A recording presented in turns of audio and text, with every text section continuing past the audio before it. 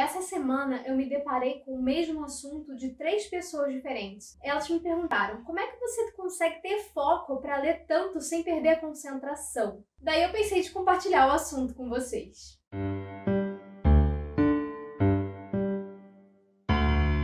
Sejam muito bem-vindos ao canal. Eu sou Ana Luísa Tempone, escritora e panfletadora das coisas que eu gosto, vulgo criadora de conteúdo. Bem, como eu tava dizendo, essa semana eu me deparei com três pessoas falando a mesma coisa para mim, que não conseguia ter foco para sentar e ler, ler bastante, e que tinham vontade, mas não sabiam por onde começar. Me, me fizeram a mesma pergunta: como é que você consegue ter esse foco para tanto, né? Então, antes de começar a falar sobre isso, eu queria falar sobre o conceito de tanto e pouco que difere para cada um. Cada pessoa tem um ritmo diferente, uma vida diferente, afazeres diferentes, vontades diferentes e tá tudo certo. Eu sempre repito que leitura não é competição.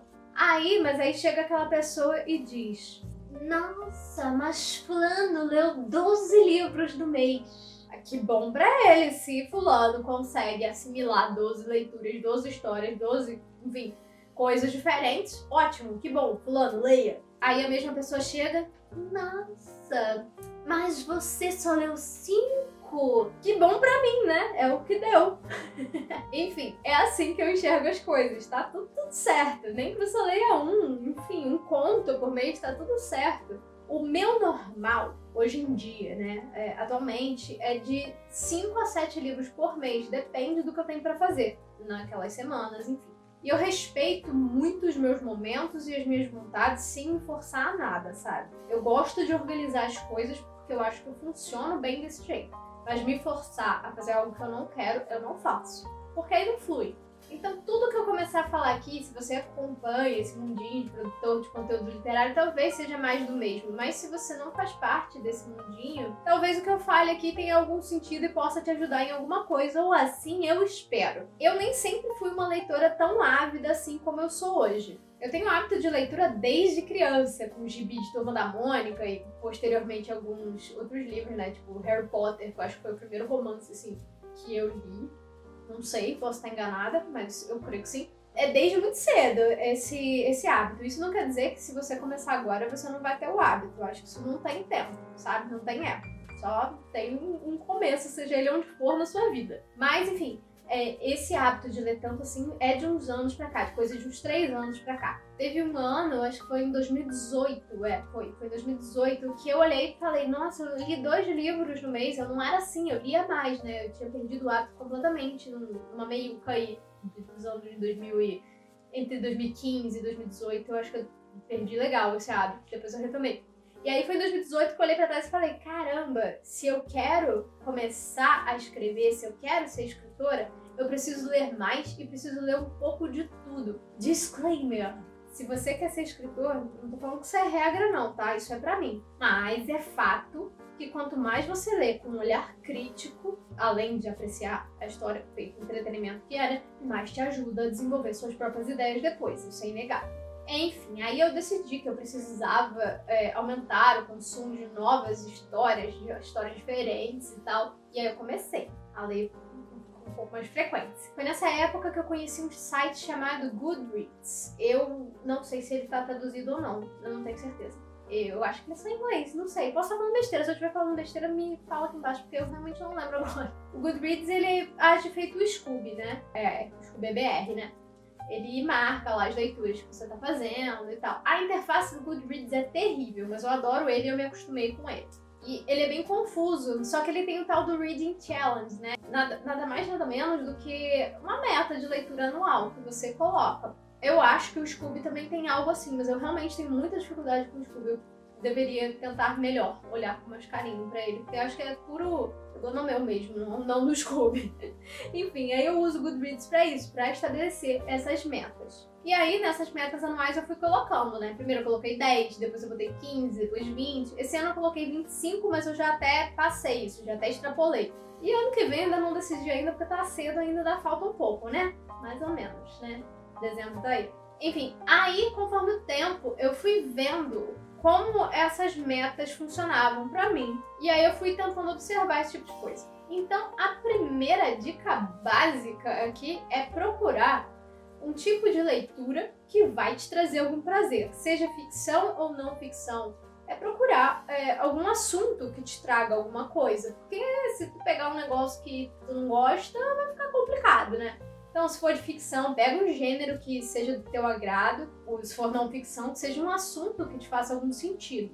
Aí você me pergunta, mas onde, Ana? Eu não sei por onde começar. Aí que eu aproveito para fazer meu jabá aqui. Se você não me segue no Instagram, eu vou deixar o arroba na tela e na descrição. Assim como eu, existem várias pessoas que produzem conteúdo literário. Então, livro é que não falta, indicação que não falta. Eu tô sempre tentando trazer resenhas de gêneros diferentes, de autores diferentes, enfim, indicações e tal. E tem várias outras pessoas fazendo esse tipo de trabalho também no Instagram e no YouTube e em outras redes também. Em todas as redes sociais tem alguém fazendo esse tipo de trabalho.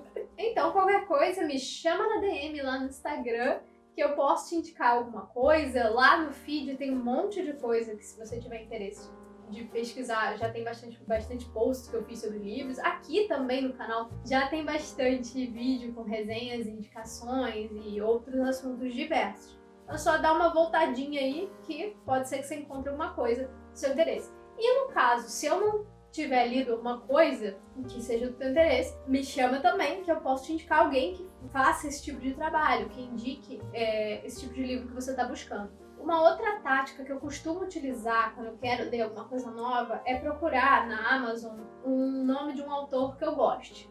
Aí eu procuro lá, beleza? E aí, ao invés de ficar por ali, eu vou na, na parte de baixo lá, quem pesquisou pelo autor, autor tal também tem interesse por, ou também pesquisou por, também, enfim, é, é um negócio assim. Não, não lembro exatamente o que está escrito, mas é nesse sentido. E isso faz muito sentido, porque ele vai aleatorizar livros similares àquele que você gostou. Pega um que você sabe que você gostou e procura desse jeito que ele vai aleatorizar algumas indicações similares. É, eu já encontrei bastante leitura bacana desse jeito. Enfim, procure sempre gêneros e autores que você sabe que vão te trazer algum prazer. A segunda coisa que eu sempre falo é não se cobra e não se julga. Encontre o seu ritmo. Você não precisa ler 560 páginas por dia para se considerar leitor. Se você ler 3 por dia, já tá ótimo. Entendeu? Dependendo da sua vida, sabe? E só você que sabe da sua vida, das suas vontades, enfim, sabe? Então não se julga, não se critica. Só vai. Tá, aí você me diz, tá, eu tenho vontade de ler mais, mas eu não consigo. E aí tá tudo bem. É, eu digo assim, é, a princípio, quando você não tá ainda com esse hábito muito desenvolvido, eu diria assim, tenta tirar um, uns 10 minutinhos do seu dia, 15 minutinhos do seu dia e ler lá cinco páginas. Não, não tenta começar com uma meta imensa, porque pode acabar causando frustração. Se você quer partir do zero, começa de pouquinho em pouquinho que vai. Até uma hora que você vai achar confortável aumentar esse número de páginas. Não necessariamente. Ah, e às vezes você nem vai passar por isso. Às vezes você só vai pegar e vai acontecer de você ler um monte de páginas. Então valendo. Começa de pouquinho em pouquinho. Vai ter uma hora que teu ritmo vai aumentar. Ah, você vai sentir isso. E também, se o teu negócio for cinco páginas por dia, beleza. O importante é que você tá lendo. A terceira coisa que eu quero comentar, que é uma coisa que me ajuda muito, e eu adquiri esse hábito, foi esse ano, eu acho, que eu leio mais de uma coisa ao mesmo tempo. Tem gente que não gosta, e aí vai de cada um mesmo. Agora, por exemplo, quando tem um livro que eu acho que a leitura vai ser mais difícil, seja por tema, seja por tamanho, enfim, seja qual for o motivo, eu pego ele, leio ele durante todo o mês, praticamente, mas ao mesmo tempo eu vou lendo outras histórias no, no meio do caminho. Então, geralmente eu começo dois ao mesmo tempo. Mais do que isso, começa a me embolar. Mas dois vai. Porque também nem sempre eu tô com vontade de ler história X naquele dia. Às vezes eu tô com vontade de ler história Y. E aí, pra não ficar travada, tipo, ah, meu Deus, não tô com vontade de ler, beleza? Eu fico migrando de história. Então é isso, eu começo a ler dois ao mesmo tempo e, preferencialmente, dois com gêneros diferentes. Por exemplo, eu tô lendo Mulheres Confiantes, da Tori Telfer, que basicamente fala sobre golpes e trapaças históricos feitos por mulheres. E é um livro de não ficção. A partir do momento que é um livro de não ficção, ele requer um pouco mais da sua atenção, porque não é o tipo de narrativa que desliza, né? É um relato ali, tá te contando uma história de outra forma. Então, é, é, é outro tipo de informação que você está adquirindo. Para mim, é um tipo de leitura mais lenta. Então, eu escolhi ele para me acompanhar durante todo o mês, enquanto eu vou lendo outras histórias quer dizer, outros livros, né? E aí vou lendo é, ficção, no caso. Aliás, alguém tem interesse nesse livro aqui, que eu fale mais sobre ele, se quiserem, eu faço resenha aqui. Faz tempo que eu não faço uma resenha solo, né? Vocês gostam de vídeo de resenha solo? Comenta cá embaixo que eu preparo. Enfim, junto a ele, eu escolhi mais quatro livros para fazer a leitura durante novembro. Um deles eu já até terminei, mas eu ainda não vou contar qual é. Se você me segue no Instagram, você já sabe, porque eu já soltei o spoiler lá mesmo, porque eu sou dessas. E os outros três, né, estão no caminho. Os outros três que eu escolhi são três, né, narrativas, assim, é, de ficção, no caso. Daí fica mais fácil assimilar. Tem hora que eu tô mais afim de um, tem hora que eu tô mais afim de outro, e por aí vai. Então, quando eu vejo, fluiu.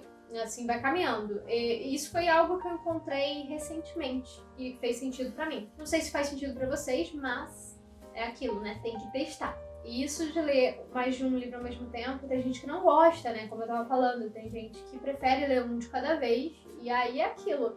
Gente, a gente não vai se entender se a gente não fizer a prática, né? Da coisa. Eu só me embolo quando eu pego dois livros de assuntos parecidos. Por exemplo, eu não consigo ler dois suspenses policiais ao mesmo tempo, mas eu consigo ler um romance romântico e um romance policial ao mesmo tempo.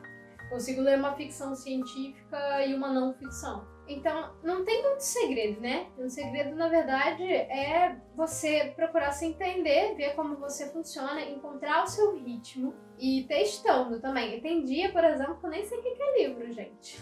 Mas vai chegar um momento que você vai encontrar esse caminho aí que vai fazer sentido para você e pode ser que daqui a um ano esse caminho não faça mais sentido e você vai ter que mudar a sua estratégia. A gente muda o tempo todo, né? Eu acho, pelo menos, pelo menos eu mudo o tempo todo. Eu acho que todo mundo, né? Não sei. É, e o importante é ler, seja livro físico, digital, seja ficção, não ficção, sabe? Seja leitura clássica, contemporânea, não importa. As pessoas julgam muito esse tipo de coisa, é muito chato, sabe? O importante é você ler, não importa o teor da história.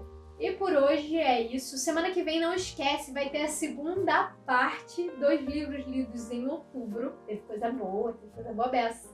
O primeiro já está disponível, eu vou deixar no card aqui foi o vídeo da semana passada. Então, semana que vem, não esquece, vai ter a segunda parte dos lidos de outubro. É, se você não é inscrito aqui no canal, aproveita já para se inscrever, ativar o sininho da notificação para não perder nenhum conteúdo. E se possível, agradeço muitíssimo, deixar aquele like para o YouTube entender que esse vídeo é bacana e recomendar ele para mais pessoas. Também vou deixar meu arroba do Instagram na tela outra vez e lembrando que também está na descrição. Por hoje é isso, gente. Até semana que vem. Tchau!